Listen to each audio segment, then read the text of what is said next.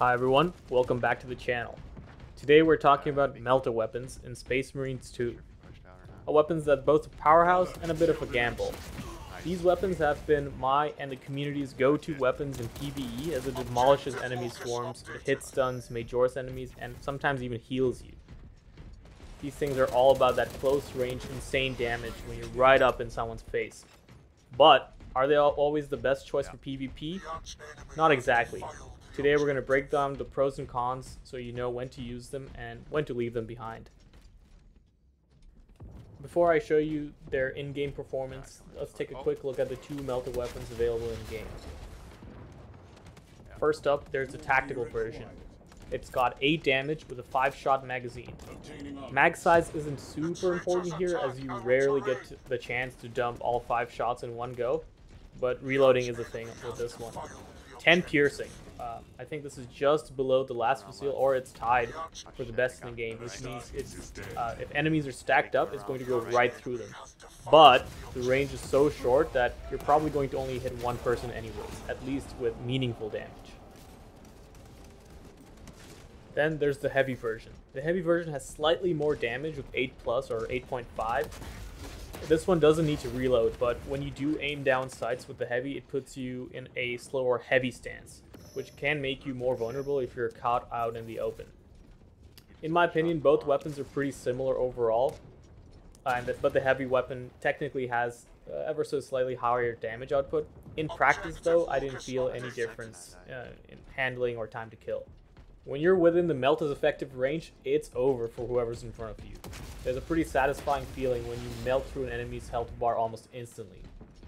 But because of its range and shotgun-like playstyle, sometimes you line up the perfect shot only to watch your enemy walk away with a sliver of health. Also, if somebody's meleeing you, uh, and you're going to be in melee range a lot, sometimes the shots to kill line up with the incoming melee damage you're taking, so you end up trading or dying.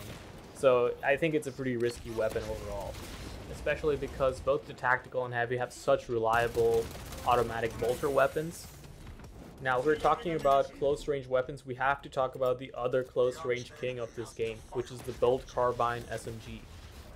The SMG can occasionally out-DPS Melta weapons in certain scenarios. You wouldn't think it, but with their high fire rate, SMGs can chip away your health so fast that you end up losing the fight, even if you land a few hits with the Melta. Part of the issue is you need to be extremely close to your target for the Melta to do its job, and in that short range, SMGs can overwhelm you with the constant fire the Melta just doesn't deliver the same level of, of, reliability. It feels like you have to work a lot harder to make uh, them perform at their best. Whereas with the SMG, which is available to the tactical and sniper, just keeps laying down that pressure without having to uh, put as much effort or put yourself in as much risk. The next really important things is their the map performance. So the Melta weapons really, really depend on the map you're playing on. It's pretty fantastic on Mausoleum, which is what you're seeing right now. Uh, and pretty solid on Bastion, where the map layout supports these close range engagements.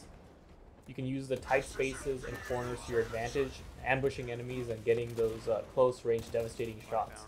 Bastion, uh, the green map, though, can still be a little tricky. The ranges and sightlines sometimes leave you a little exposed uh, before you can get in close enough to do the damage. And then there's Cathedral now, which is basically a, a no-go for Meltas. It's a huge map with lots of open areas, and players tend to be much more spread out.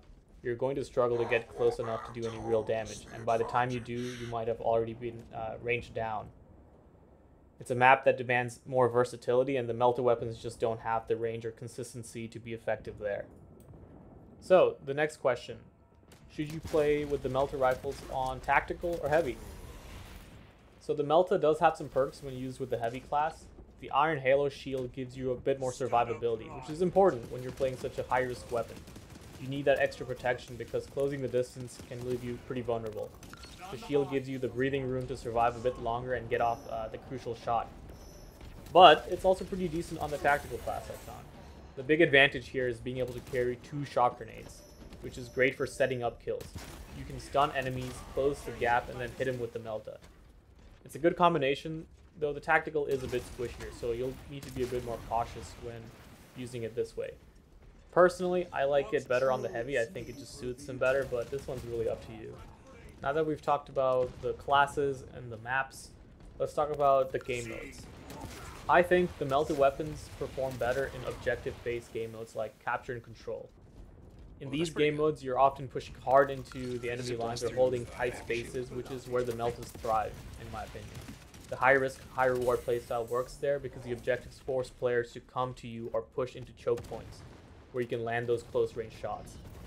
In more kill based modes like Annihilation, they lose some of their edge. These modes tend to be more about positioning and picking your fights from safer ranges. Uh, since mel- Melta rifles are so reliant on getting up close, they're harder to use effectively in open engagements where you need to be more flexible. If you're not getting into those tight situations, you're in a uh, disadvantage. So what's my final verdict on the Melta weapons? They're fun, no doubt about that, but they're also pretty situational. You can pull off some amazing plays when everything lines up, but they're not going to be the weapon of choice in every situation. If you want something more reliable across all different maps and all different game modes, I think there's better options out there. For example, for tactical players, the heavy assault bolter is, is really good. You got 45 rounds, good piercing, good damage, and it's probably your best bet for all situations. And without the limitations of range. And for the heavy class, the heavy bolter is just a solid, solid all-rounder weapon uh, that works well on all maps. So while these Melta rifles have their moments, I wouldn't count on them uh, as your go-to choice if you're looking for consistent performance. I would say they are a pretty good weapon though, maybe A tier or like high B tier-ish weapon. So that's all my thoughts uh, on the Melta weapons. I'm gonna leave you guys with some more uh, Melta gameplay. Hope you enjoyed, and catch you in the next one.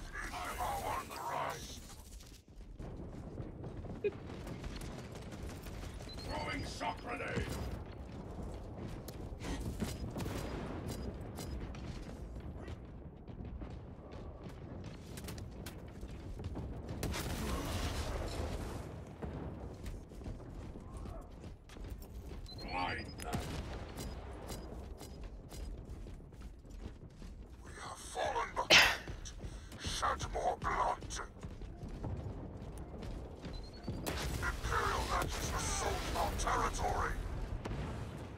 Too frail for this war.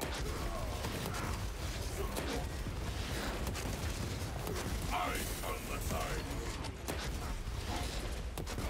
What the hell? Oh, that guy was. Allied casualty!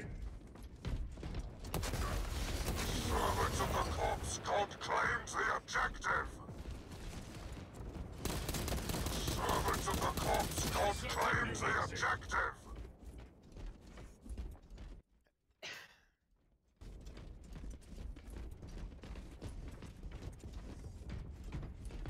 Nothing on the ceiling.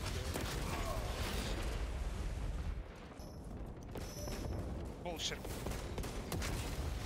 Oh shit. Servants of the corpse god claims the objective. Okay, we have it. Imperial Nazis assault our territory.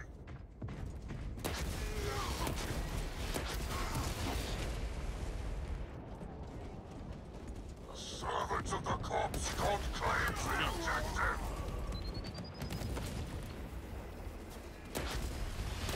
Melt him.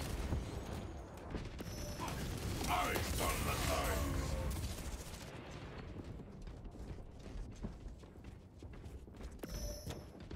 I should have run away from Imperial Nazis Disconnected? assault our territory. What?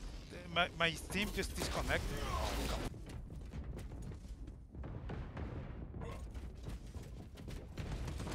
Maybe Steam probably just got a stroke. Objective point. How the fuck did he live?